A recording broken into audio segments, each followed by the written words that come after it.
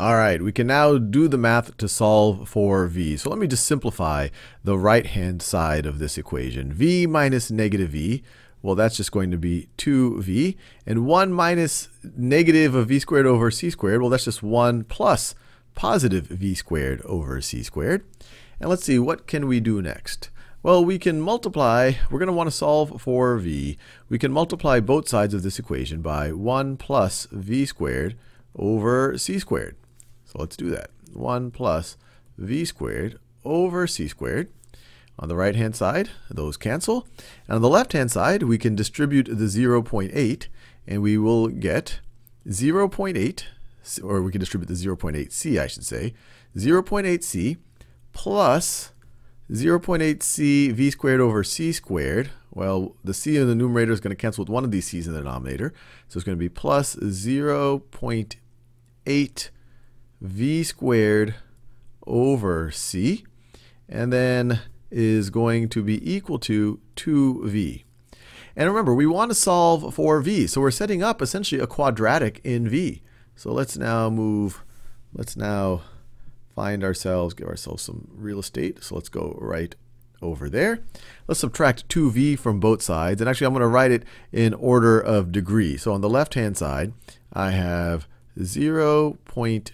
8, I'll write that over c v squared, and then minus 2v, I just subtracted 2v from both sides, plus 0.8c, plus 0.8c is equal to 0. I guess if we want to simplify it a little bit, we can multiply both sides by c. I don't know if that'll, well, let me just go with that. If we multiply both sides by c, this will become 0.8 v squared minus 2cv plus 0.8c squared is equal to 0. And we could keep trying to algebraically manipulate this, but we could just go straight to the quadratic formula here to solve for v. I'll do that in a different color just for kicks. v is going to be equal to negative b.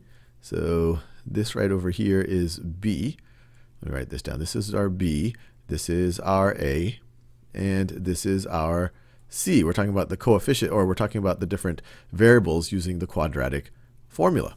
So v is going to be negative b, so the negative of negative 2c, so it's going to be 2c plus or minus the square root of b squared. So negative 2c squared is positive 4c squared minus 4 times a, so minus 4 times 0.8 times c, so times 0.8 8 c squared, 0.8 c squared, all of that over 2a.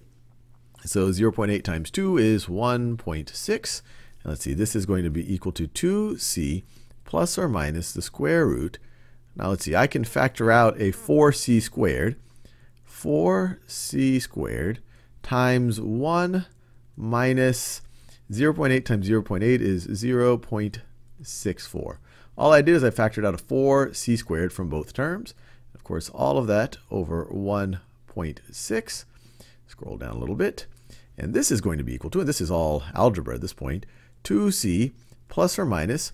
If I fact, if I take the 4c squared out of the radical, it's going to be it's going to be 2c. So 2c plus or minus 2c times the square root of 1 minus 0.64. Well, that's 0.36. Things are getting nicely simple now, all over 1.6. The square root of 0.36, the principal root of that is 0.6. So that's 0.6. And move down a little bit. So this is going to be equal to 2c, and I can, I can see the end, plus or minus 2 times 0.6 is 1.2c, all of that over 1.6. So we got two possible values for v.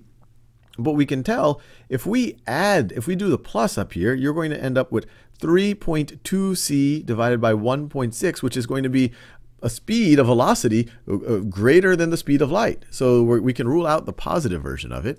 So we know the answer is going to have to be the negative version of it. So 2c minus 1.2c over 1.6, which is equal to 0.8c over 1.6. Well, 0.8 is half of 1.6, so this is 0.5c. That was really, really, really cool. Because what what do we know now? We know now that if A in A's frame of reference, A feels like it is stationary. We have A's friend moving with a relative velocity of 8 tenths of the speed of light. There could be a third party, C, that defines a frame of reference moving away from A with a velocity of half the speed of light. Half the speed of light. And from A's frame of reference, it looks like C's velocity is closer to B's than it is to A's, but we're dealing in this relativistic, this, this, this, this Einsteinian world, because if we then go into C's frame of reference, it actually looks like A and B are both leaving C with a speed of 0.5 c. 0, so here you can view the velocity as positive 0.5 c, and here you could say the velocity is negative 0.5, negative 0.5 c. This was really cool. We're able to find a frame of reference that you could think of it as right in between. And what's going to be really cool about this is that we can actually, you know, what, I, what some people don't like about Minkowski space-time diagrams is that it looks asymmetric, even though if B is moving in A's frame of reference with a velocity of positive 8 tenths of the speed of light, well, then if you were in B's frame of reference, A is moving to the left with a speed of 0.8 times c.